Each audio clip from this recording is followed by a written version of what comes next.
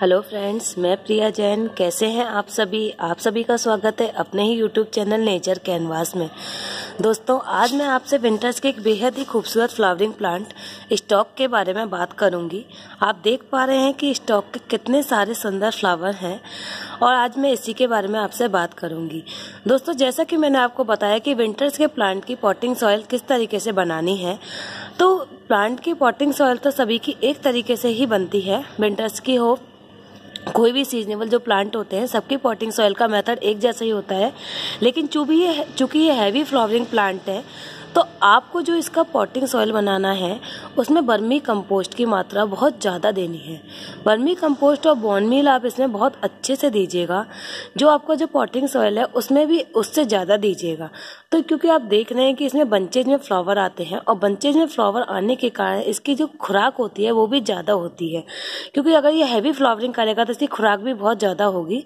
तो इसीलिए दोस्तों इसकी जो आपको पॉटिंग सॉइल में आपको हर पंद्रह दिन में वर्मी कंपोस्ट और बॉन मील तो देते रहिए।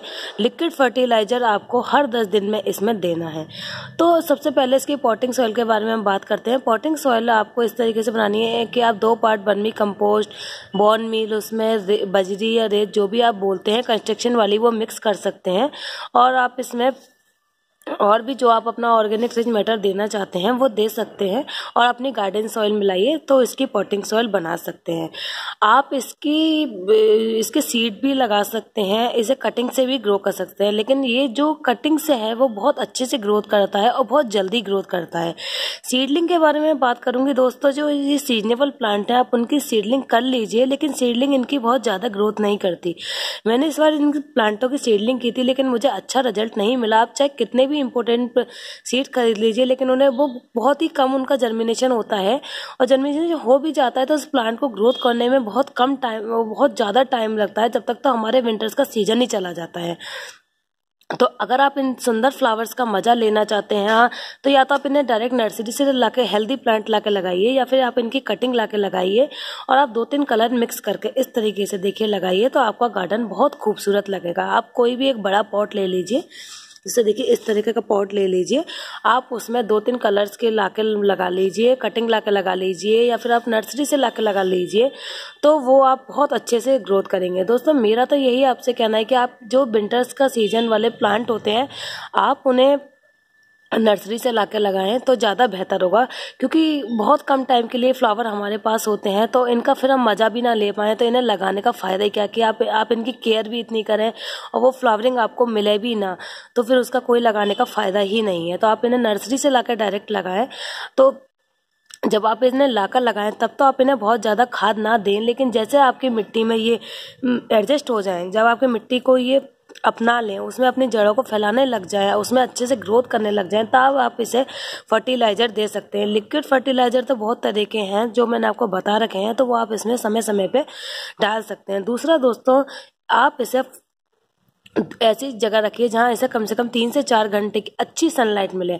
वरना इस क्या होगा, इसकी जो पत्तियाँ हैं, वो तो ग्रोथ करती रहेंगी, लेकिन इसमें, और इसमें वर्ड्स भी आएँगे, लेकिन फ्लावरिंग अच्छी बंचेज में नहीं होगी। जब फ्लावरिंग ही नहीं होगी तो फिर इसे लगाने का फ़ायदा क्या होगा? तो आप इसे ऐसी जगह रखिए जहाँ दो से तीन घंटे की सनलाइट इन्हें बल्कि चार घंटे की सनलाइट इन्हें आराम से मिले, अच्छी धूप मिले इन्हें लेकिन बहुत ज़्यादा धूप वाले एरिया में भी इसे नहीं रखना है, क्योंकि ये विंटर्स के प्लांट है तो इन्हें धूप की बहुत कम ज़रूरत होती है, लेकिन विंटर्स की धूप इन्हें अच्छी लगती है तो जहाँ तीन से चार घंटे की धूप आती हो, आप इन्हें वहाँ रखिए। वरना इसकी पत्तियाँ इस तरह, पत्तियाँ ग्रोथ करती रहेंगी। अब दूसरों दोस्तों बात करते हैं एफिड्स की या माइट्स के अटैक की। तो आप जितने भी प्लांट हैं, आप उन पे नीम ऑयल हर दस दिन में अप्लाई करते रहिए तो आपके प्लांट पे कोई बीमारी लगेगी ही नहीं।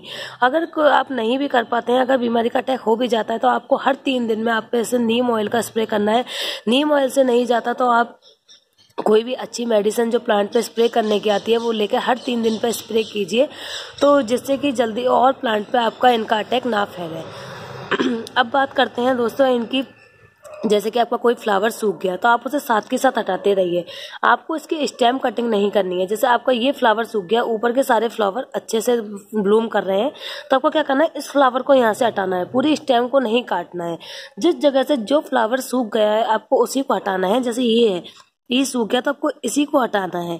आपको पूरे प्लांट को कटिंग नहीं करनी है, पूरी स्टेम की कटिंग नहीं करनी है, जो फ्लावर हाँ आपकी पूरी ये स्टेम ही सूख गई है, पूरे फ्लावर सूख गए हैं तो आप उन्हें हटा सकते हैं। लेकिन अगर आपका केवल एक या दो फ्लावर सूखा है तो आपको पूरे फ्लावर नहीं हटाने हैं। तो दोस्तों, ये थी इसकी पॉटिंग सॉइल की। चूँकि विंटर्स के प्लांट हैं तो इन्हें वाटर की रिक्वायरमेंट तो बहुत कम होती है, और वाटर की इसके साथ आप उनको लिक्विड फर्टिलाइज़र मिला के हर सात दिन में देते रहें तो इसको वाटर की रिक्वायरमेंट भी ज़्यादा नहीं होती। वाटरिंग इनमें बहुत कम करनी है। आपके प्लांट की ग्रोथ के अकॉर्डिंग पॉट के साइज़ के अकॉर्डिंग आप इनमें वाटरिंग कर सकते हैं। बहुत ज़्यादा सूखना भी नहीं देना है अपने प्लांट को, बहुत ज़्यादा सोगी भी, गीला भी नहीं रखना है। आपकी मिट्टी में हल्की सी नमी बने रहनी चाहिए। आशा करती हूँ दोस्तों आपको मेरी दी हुई जानकारी पसंद आई होगी। पसंद आई हो तो लाइक कीजिएगा, मेरे चैनल को सब्सक्राइब कीजिएगा और सुंदर सुंदर फ्लावर को अपने गार्डन में लाकर एंजॉय कीजिएगा।